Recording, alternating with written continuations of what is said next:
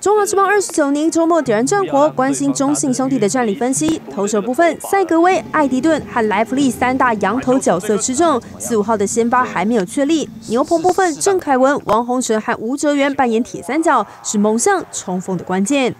先发投手这个部分，我觉得中信兄弟做的最好的一个部分，反而不是他现有已经找了三个羊头，但他很早就确定这一点来讲，其实很不错。更重要的是他。一直在积极找第四羊头，因为以他今年的战力来讲，对羊头的依赖绝对更胜于以往。这个去年表现蛮突出的，像吴哲元、王洪成，加上这个所谓的双正啊，一左一右的这个郑启宏跟郑凯文，大概这四个人会比较呃明确的，就是摆在。比较接近胜利组这样的一个状况，呃，今年其实他的一个看点，我反而会觉得说，呃，他这一些后援投手是不是能够展现出呃非常就是强韧的这一面？我觉得反而是会决定他今年的一个输赢非常重要的关键。本土投手先发人选开放竞争，许多年轻好手卡位的牛棚，同样也都需要捕手适时的引导协助。但以优是黄山军的守备位置当中，捕手是相对比较弱的一环，就看谁能把握机会坐稳先发。